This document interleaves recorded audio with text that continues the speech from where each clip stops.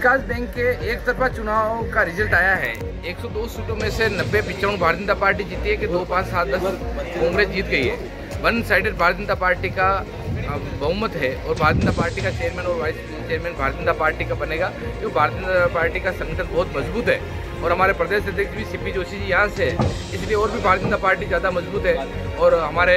Director भी हम लोगों ने एक तरफा जीते हैं। यहाँ चित्तौड़ में बदेसर में बदेसर चित्तौड़ को पंचायत समिति की बात करूँ, यहाँ पे भी हम लोगों के तेईस चुनाव है, उसमें से इक्कीस हम लोगों ने जीता है। और ज़िले में एक तरफा भारतीय जनता पार्टी की जीत है चेयरमैन और वाइस चेयरमैन दोनों भारतीय जनता पार्टी के जीते इस जो हो रहे हैं भू विकास बैंक के, ये एक विधानसभा की रिहर्सल रिहर्सल थी, और उसमें हम लोगों ने जीता है। आने वाले जो जितने भी चुनाव हुए हैं, आज पंचायत समिति के चुनाव हो,